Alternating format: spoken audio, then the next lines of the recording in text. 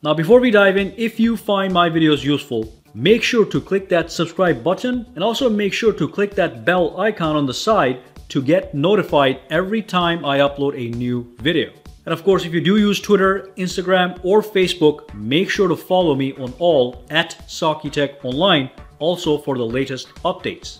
All right, let's dive in. Hey guys, Sock here from Saki Tech. In today's video, I want to be talking about a brand new Good Lock update that enhances some functionality. So let's dive in and get started. So let's launch our Good Lock application. I'm going to go over to my family section over here. And all the way at the bottom, we've got the sound assistant. You should be getting a brand new update for this. Just tap on it. It's going to take you to the store if there's an update and you just update that. So now let's talk about the feature that I'm talking about. So make sure that the sound assistant is in fact enabled. And then once you're inside here, simply go down and go into the advanced settings. You tap on it and under advanced settings, you have this option that says control music with volume keys. Now you can enable or disable this from here.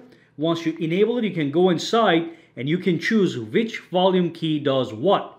So if I press the up volume key, it's going to go to the previous song. If I press that down, it's going to go to the next song or I can have it the other way. So let's take a look at how this actually works. It's not going to work in this screen. It's only designed to work in the actual lock screen. So let me quickly launch my music application over here, Samsung Music. I'm just going to play a song. Okay, so the song is playing right now.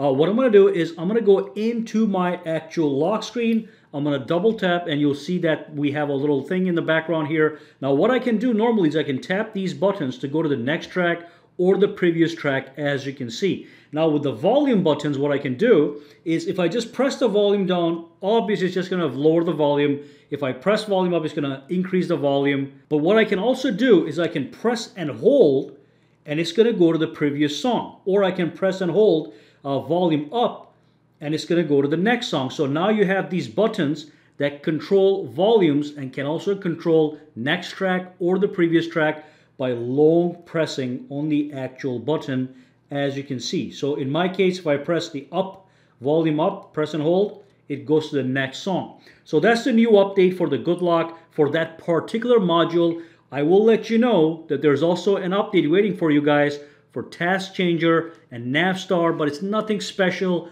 just a couple of stability enhancements. And I do want to give a quick shout out to uh, Jars Kufi. I most likely did not say that correctly, uh, but he's the one that brought this to my attention. If you have any tips and tricks, you can also DM me on Twitter and I'll make a video and give you a quick shout out.